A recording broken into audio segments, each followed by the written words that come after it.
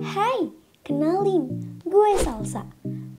Gue suka banget makan seblak, apalagi kalau ditambah bon cabe. Hmm, enak banget dah pokoknya. Ya, walaupun suka kepedesan sampai keringetan dan agak ingusan gitu sih. Tapi tenang aja, gue gak pernah lupa buat selalu sediain tisu di samping gue. Nah, kalau ini namanya Arda. Dia suka banget olahraga, mulai dari pemanasan, sit up, dan terus lanjut lari deh. Hmm, walaupun larinya sendiri, tapi dia nggak pernah lewatin itu. Ya, asal jangan lari dari kenyataan ya, ga. Habis olahraga, Arga pasti langsung balik ke parkiran dan ngambil tisu yang selalu dia sediain di jok motornya buat ngelap keringatnya guys. Lihat tuh, banyak banget kan tisu yang dipakai. Nah, satu lagi nih, namanya Tri. Dia suka banget nangis karena drakor. Gue nggak tahu sih ya drakornya sesedih apa, tapi lebay banget deh.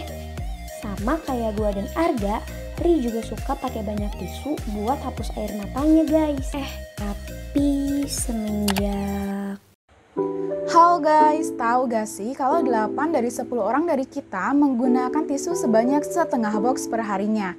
Itu artinya kita telah menggunakan satu batang pohon per dua hari.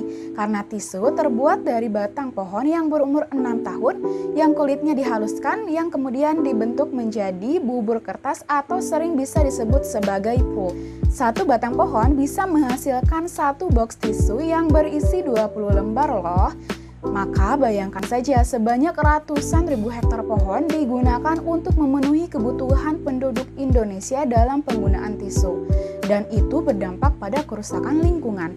Karena satu pohon bisa menghasilkan oksigen yang cukup untuk tiga orang dari kita. Selain itu, berdampak juga pada pengurangan areal peresapan air dan bisa mengakibatkan pada terjadinya banjir dan longsor. Jadi gimana guys, walaupun kita belum bisa berkontribusi langsung dalam menanam pohon, kita bisa nih untuk melestarikan lingkungan dengan cara mengurangi penggunaan tisu berlebih. Untuk solusi alternatifnya, yuk simak video berikut ini. Anda punya baju bekas? Atau Anda mungkin punya baju bekas, buruk robek, tak layak pakai, bolong diketek seperti di video ini. Jangan risau, jangan dibuang, karena kita bisa menyelapnya menjadi sapu tangan. Yang pertama, potong sesuai dengan ukuran yang Anda inginkan. Lalu jahit keempat bagian sisi dengan rapi dan kuat, agar sapu tangan awet ketika digunakan.